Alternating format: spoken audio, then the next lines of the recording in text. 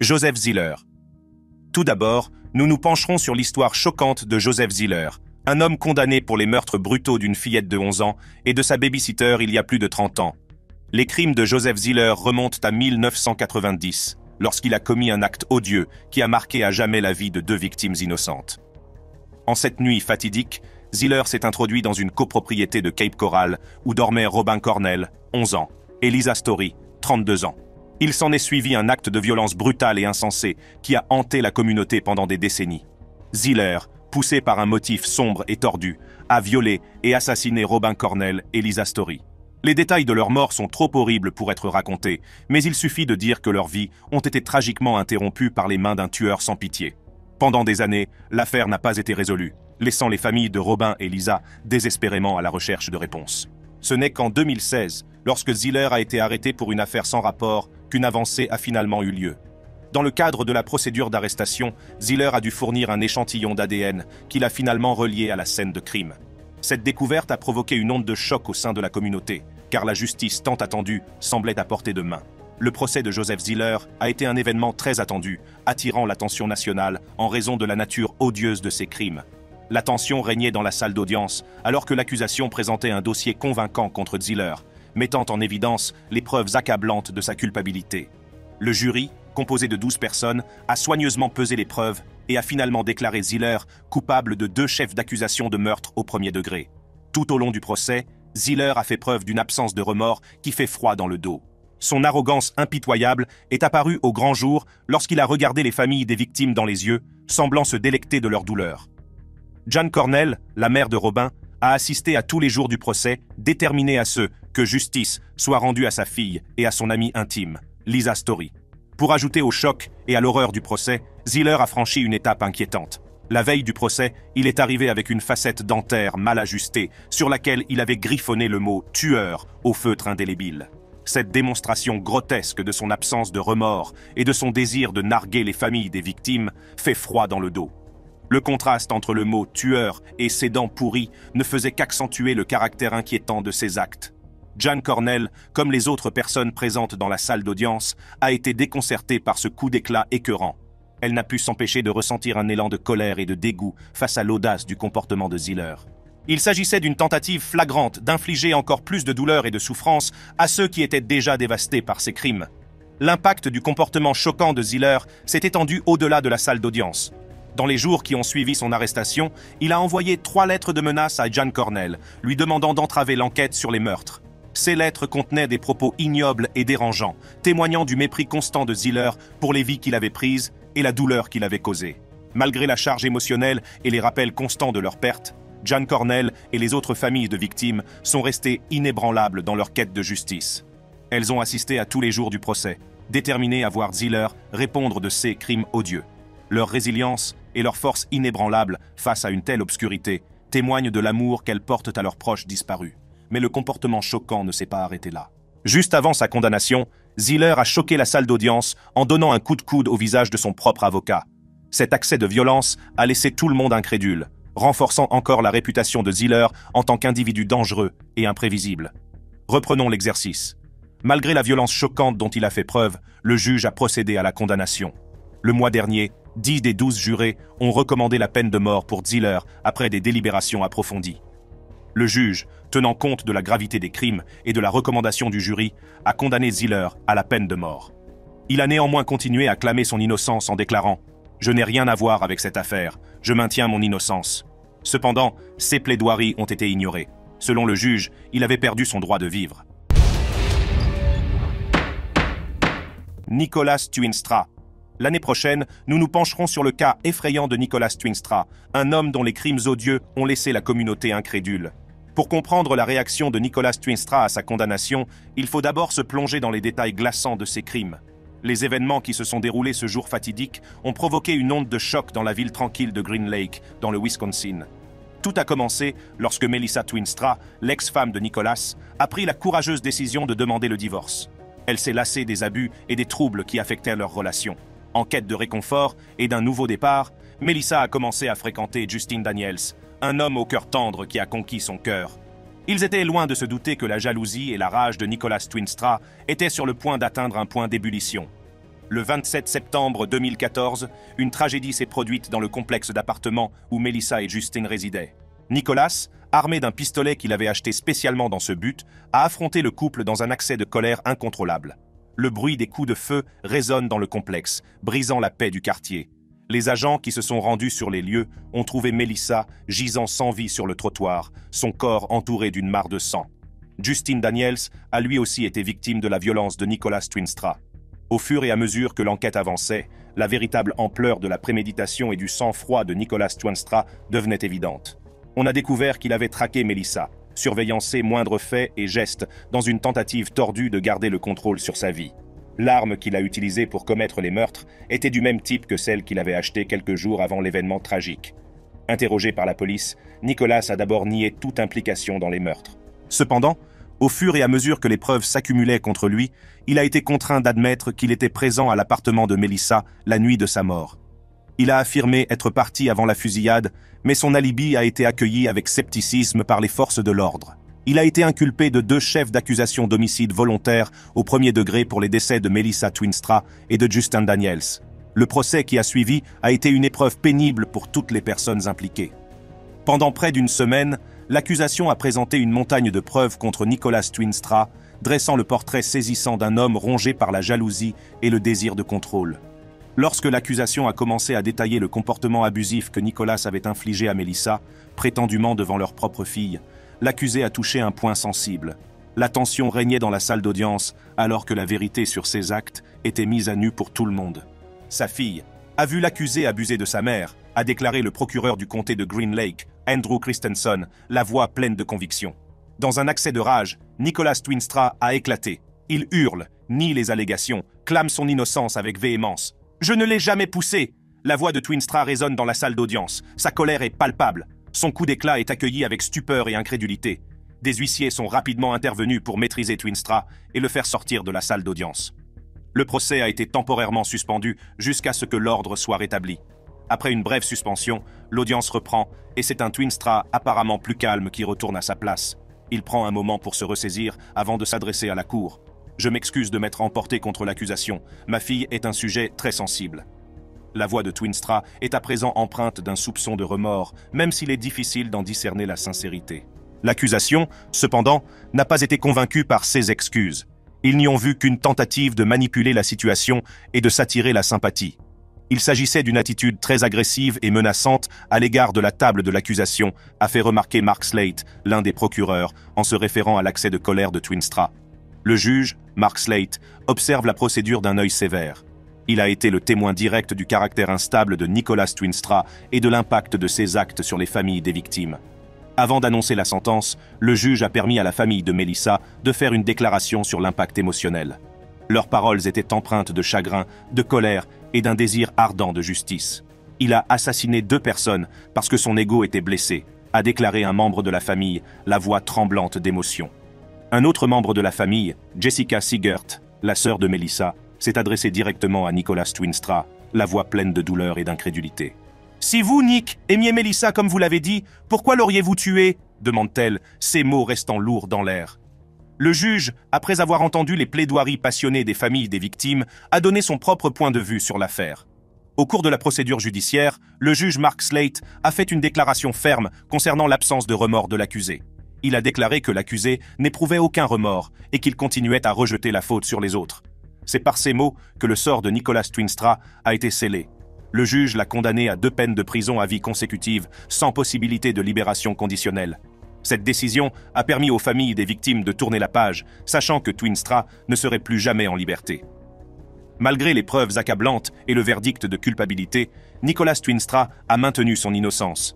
Il s'est accroché à l'idée que l'histoire ne se résumait pas à cela et que la vérité finirait par éclater au grand jour grâce à la procédure d'appel. Sa voix est remplie d'un mélange de défi et de désespoir. Mark Lloyd. Ensuite, nous nous pencherons sur le cas saisissant de Mark Lloyd et sur sa réaction stupéfiante à la suite de sa condamnation. Le passé criminel de Mark Lloyd est une histoire effrayante de violence et de brutalité qui a laissé une communauté en état de choc. Les crimes présumés de Lloyd sont tout simplement horribles et les accusations dont il fait l'objet reflètent la gravité de ses actes Tout a commencé le 13 décembre 2016, lorsque Lloyd a prétendument abattu son ex-petite amie enceinte, Sade Dixon, devant son domicile à Orlando, en Floride. Cet acte de violence insensé a non seulement coûté la vie à Sade Dixon, mais aussi à son enfant à naître. Mais le massacre présumé de Lloyd ne s'est pas arrêté là. Un mois plus tard, le 9 janvier 2017, la tragédie a de nouveau frappé, lorsque Lloyd a prétendument abattu le lieutenant de police d'Orlando Deborah Clayton. Le lieutenant Clayton, membre bien-aimé de la police, tentait d'appréhender Lloyd lorsqu'elle a été mortellement blessée. Les actes présumés de Lloyd ont non seulement privé la communauté d'un officier dévoué, mais ont également renforcé le sentiment de peur et de malaise qui s'était emparé de la ville. À la suite de ces crimes horribles, Lloyd a fait l'objet d'une vaste chasse à l'homme. Les forces de l'ordre n'ont pas ménagé leurs efforts pour le traduire en justice. La recherche de Lloyd a duré plusieurs semaines et a mobilisé de nombreuses agences qui ont travaillé sans relâche pour le retrouver. Finalement, le 17 janvier 2017, Lloyd a été appréhendé à l'issue d'un spectaculaire face-à-face avec la police. La capture de Lloyd a apporté un sentiment de soulagement à la communauté, mais elle a également marqué le début d'une longue bataille juridique. Lloyd fait maintenant face à une série de chefs d'accusation, tous assortis de lourdes peines. Il est accusé de meurtre au premier degré pour la mort de Sad Dixon et de son enfant à naître, ainsi que pour le meurtre du lieutenant Deborah Clayton. À eux seuls, ces chefs d'accusation sont passibles d'une peine d'emprisonnement à perpétuité, voire de la peine de mort. Outre les accusations de meurtre, Lloyd est également accusé de tentative de meurtre au premier degré, de voies de faits graves et de possession d'une arme à feu par un criminel condamné. Ces accusations découlent des actions présumées de Lloyd lors de la chasse à l'homme et du face-à-face avec la police. Au cours du procès, la salle d'audience était remplie de tension et d'impatience lorsque Markate Lloyd, le tueur de flics présumé, s'est fait connaître lors de sa récente audience. L'emportement de Lloyd au cours de la procédure a laissé toute l'assistance stupéfaite et captivée. Au début de l'audience, l'avocat de Lloyd a présenté des requêtes concernant des images d'actualité locale, des écoutes téléphoniques et une enquête sur l'usage excessif de la force. Cependant, il est rapidement apparu que Lloyd avait une autre idée en tête. Ignorant le conseil du juge de consulter d'abord son avocat, Lloyd s'est levé et a commencé à parler. Les paroles de Lloyd sont empreintes d'un mélange de défi, de frustration et du sentiment d'avoir été lésé il a affirmé avec force qu'il avait été piégé pour les crimes dont on l'accusait, niant avec véhémence toute implication. À un moment donné, Lloyd a même parlé de son expérience en prison, mettant en lumière les conditions qu'il prétendait avoir endurées en attendant son procès. Ces propos dressent le portrait d'un homme qui estime avoir été maltraité et privé de justice. Malgré les tentatives répétées du juge pour ramener l'attention de Lloyd sur les requêtes en cours, Lloyd persiste à exprimer ses pensées. Le juge a rappelé à Lloyd l'importance de l'assistance d'un avocat et lui a suggéré de s'entretenir avec lui avant de faire d'autres déclarations. Cependant, Lloyd semblait déterminé à faire entendre sa voix, refusant d'être réduit au silence. Lorsque la crise de Lloyd s'est terminée, la salle d'audience est restée dans un état de perplexité. Le juge, conscient de la nécessité de maintenir l'ordre, a invité Lloyd à communiquer par l'intermédiaire de son avocat et lui a conseillé de se faire assister d'un conseiller juridique. L'emportement de Lloyd avait certainement eu un impact, mais il restait à voir comment il affecterait l'issue du procès. À la fin de l'audience, Markate Lloyd a pris un moment émouvant pour faire ses adieux à sa famille, laissant la salle d'audience remplie d'un mélange d'émotions. L'émotion de Lloyd a ajouté un élément humain à une procédure par ailleurs intense et dramatique. Les larmes aux yeux, Lloyd s'est tourné vers ses proches et leur a exprimé son amour et sa gratitude. C'est une scène déchirante, car Lloyd, confronté à l'incertitude de son avenir, a profité de cette occasion pour faire ses adieux. Après tout, il a été condamné à la peine de mort pour le meurtre de sa femme et de l'enfant à naître, puis à la peine de mort pour le meurtre du policier. Kamia Gamet. Ensuite, Kamia Gamet, un nom synonyme de crimes meurtriers qui ont choqué le monde. En mars 2013, Gamet a admis avoir frappé Hill à la tête avec un marteau, un acte d'agression choquant qui laissait présager les événements tragiques à venir. Malgré les antécédents de violence, le couple est resté uni, prisonnier d'un cycle toxique. Les détails de leur relation brossent un tableau sombre d'une dynamique instable et dangereuse. C'est dans ce contexte que se sont déroulés les événements qui ont conduit à la mort prématurée de Hill. Le procès de Camilla Gamet a été un spectacle judiciaire passionnant qui a captivé la nation. Camilla Gamet, accusée du meurtre de Marcel Hill, s'est défendue avec véhémence en invoquant la légitime défense. Son équipe de défense a soutenu qu'elle avait tué un agresseur inconnu dans une pièce sombre, réagissant par peur après s'être réveillée au son d'une vitre brisée sur sa tête. Ils ont brossé le tableau d'une femme terrifiée, se défendant contre un intrus. Cependant, l'accusation a présenté une version différente. Elle a soutenu que les actes de Gamette étaient prémédités et délibérés, soulignant la nature brutale du crime. Les éléments de preuve, notamment un lampadaire ensanglanté et une poêle à frire, suggèrent une attaque implacable et calculée. L'accusation a soutenu que les allégations de légitime défense de Madame Gamette étaient infondées et qu'elle avait intentionnellement assassiné M. Hill. Tout au long du procès, Madame Gamette a maintenu son innocence, exprimant son incrédulité face à la façon dont elle a été dépeinte. Elle a affirmé que la plupart des preuves retenues contre elle étaient mensongères et que seule une petite partie d'entre elles était vraie. Cependant, des membres de la famille de la victime ont témoigné à la barre, racontant les horribles appels à l'aide qu'ils ont entendus lorsque Gamette a poignardé Hill à plusieurs reprises. La tension règne dans la salle d'audience, tandis que le jury délibère, soupesant les preuves et les témoignages présentés. Le sort de Camilla Gamette est en suspens et la nation attend le verdict qui déterminera son avenir. La tension dans la salle d'audience atteint son paroxysme lorsque le jury rend son verdict. Camilla Gamette est reconnue coupable de meurtre au premier degré. La salle est devenue silencieuse, mais Madame Gamette n'a montré aucun signe de remords. Lorsque les membres de la famille de la victime se sont adressés à la cour, partageant leurs histoires déchirantes de perte et de chagrin, les yeux de Madame Gamette se sont écarquillés et elle a ri sans ménagement.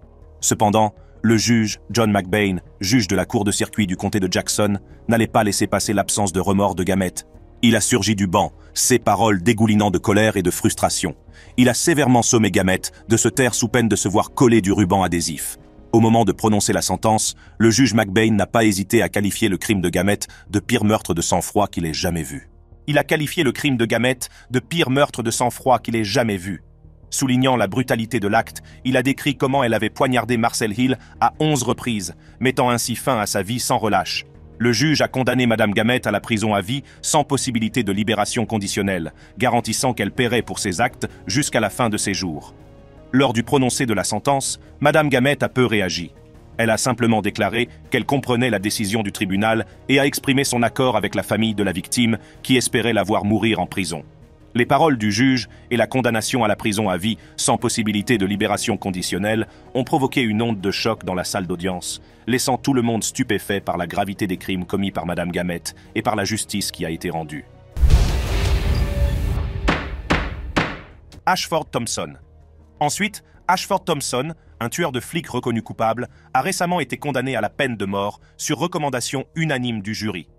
Avant la capture d'Ashford Thompson, une série d'événements se sont déroulés qui allaient permettre de le traduire en justice. Tout a commencé un jour fatidique de juillet 2008, lorsque l'agent Josh Victarion, membre dévoué et respecté de la police de Twinsburg, a été abattu lors d'un contrôle routier de routine. L'agent Victarion, mari dévoué et père d'une petite fille de deux ans, avait arrêté un véhicule pour une infraction mineure au code de la route. Il était loin de se douter que cette rencontre apparemment banale se transformerait en une tragédie qui ébranlerait la communauté au plus profond d'elle-même.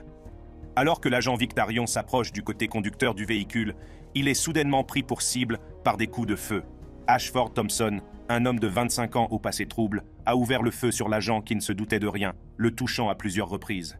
En l'espace de quelques secondes, la vie d'un policier dévoué a été interrompue, laissant derrière lui une famille dévastée et une communauté en deuil. Se rendant compte de la gravité de ses actes, Thompson a pris la fuite, laissant l'agent Victarion succomber à ses blessures. La nouvelle de la mort de l'agent s'est répandue comme une traînée de poudre, provoquant une onde de choc dans la communauté très unie de Twinsburg. La police de Twinsburg a immédiatement lancé une vaste chasse à l'homme pour appréhender Thompson et le traduire en justice. La recherche du tueur de flics s'est étendue à plusieurs juridictions, les forces de l'ordre des villes et comtés voisins ayant uni leurs forces pour traquer le dangereux fugitif. Les jours se sont transformés en semaines et les semaines en mois, mais Thompson est resté insaisissable. Il semble s'être volatilisé, laissant les enquêteurs frustrés et la communauté sur les dents. La recherche incessante de la justice pour l'agent Victarion est devenue une priorité absolue pour les responsables de l'application de la loi, qui étaient déterminés à traduire Thompson en justice. Finalement, une percée s'est produite lorsqu'un tuyau a conduit la police à une maison à Bedford Heights, où l'on pensait que Thompson se cachait. Une équipe SWAT a été constituée et un face-à-face tendu s'est ensuivi alors que les négociateurs tentaient d'amener Thompson à sortir de la résidence de manière pacifique. Après plusieurs heures de négociations, Thompson s'est finalement rendu, mettant fin à une chasse à l'homme de plusieurs mois. Il a été placé en garde à vue sans autre incident, et la communauté a poussé un soupir de soulagement collectif en sachant que le dangereux tueur de flics était enfin hors d'état de nuire. La capture d'Ashford Thompson a permis à la famille endeuillée de l'agent Victarion de tourner la page et a apporté une lueur d'espoir à la communauté. Cependant, le chemin vers la justice est loin d'être terminé. Ashford Thompson allait maintenant devoir mener une bataille juridique longue et ardue lors de son procès pour ce crime odieux. Lors de son procès pour le meurtre odieux de l'agent Josh Victarion, Ashford Thompson a été confronté à une multitude de chefs d'accusation reflétant la gravité de ses actes. L'accusation a présenté un dossier convaincant, exposant méticuleusement les preuves contre Thompson et brossant le portrait effrayant d'un tueur de sang-froid. Monsieur Thompson a été inculpé de meurtre au premier degré, un crime passible des peines les plus sévères prévues par la loi. L'accusation a fait valoir que les actes délibérés et prémédités de Thompson témoignaient d'un mépris total pour la vie humaine et la sécurité des forces de l'ordre. Outre l'accusation de meurtre, Thompson a également été accusé de tentative de meurtre pour les blessures subies par l'agent Victarion lors du contrôle routier. L'accusation a fait valoir que l'intention de tuer de Thompson était évidente dans l'usage qu'il a fait de la force meurtrière contre l'agent, ne laissant aucun doute quant à son intention malveillante. En outre, Thompson a été accusé de possession illégale d'une arme à feu, car il a été établi que l'arme utilisée pour le crime n'était pas enregistrée et qu'elle avait été obtenue par des moyens illicites. L'accusation a présenté un dossier convaincant, étayé par des preuves médico-légales, des témoignages et des rapports balistiques reliant Thompson à la scène de crime. Le jury s'est vu présenter un récit clair et accablant de la culpabilité de Thompson, laissant peu de place au doute. Tout au long du procès, l'équipe de défense de M. Thompson a tenté de saper les arguments de l'accusation, en mettant en doute la crédibilité des témoins et en contestant la recevabilité de certains éléments de preuve. Cependant, leurs efforts se sont avérés vains face à des preuves accablantes et à l'impact émotionnel de la mort tragique de l'officier Victarion. Malgré les efforts de la défense, le jury a vu à travers la façade de fausse humilité de Thompson et a reconnu le mépris arrogant et insensible dont il a fait preuve à l'égard de la vie de l'agent Victarion. Après des délibérations approfondies, le jury a rendu un verdict unanime, déclarant Thompson coupable de tous les chefs d'accusation. La salle d'audience a été envahie par un mélange d'émotions à l'annonce du verdict de culpabilité. La famille de la victime, qui avait enduré des mois de douleur et d'angoisse, a trouvé du réconfort en sachant que justice avait été rendue. La communauté, elle aussi, a ressenti un sentiment d'apaisement, sachant qu'un dangereux criminel serait tenu pour responsable de ses actes. Le verdict de culpabilité étant établi, le procès est passé à la phase de détermination de la peine, au cours de laquelle l'accusation a réclamé la peine la plus sévère qui soit, la peine de mort. La défense, quant à elle, a plaidé pour la clémence, citant le passé trouble de Thompson et son potentiel de réinsertion. Après mûre réflexion, il a été décidé que la condamnation de Thompson aurait lieu au palais de justice du comté de Summit. Cette décision est importante, car elle signifie que l'affaire sera entendue dans la juridiction où le crime a été commis, ce qui garantit que la justice sera rendue dans la communauté directement touchée par les actes de Thompson. Le juge a examiné attentivement tous les arguments présentés avant de prendre une décision qui déterminera le cours de la vie de Thompson. Après avoir examiné les preuves, le juge a annoncé que Thompson serait effectivement condamné à mort, conformément à la recommandation unanime du jury. Le jour du jugement, Thompson est resté assis, les bras croisés, affichant une absence totale d'émotion. Merci d'avoir regardé. Cliquez sur les vidéos sur votre écran pour un contenu similaire.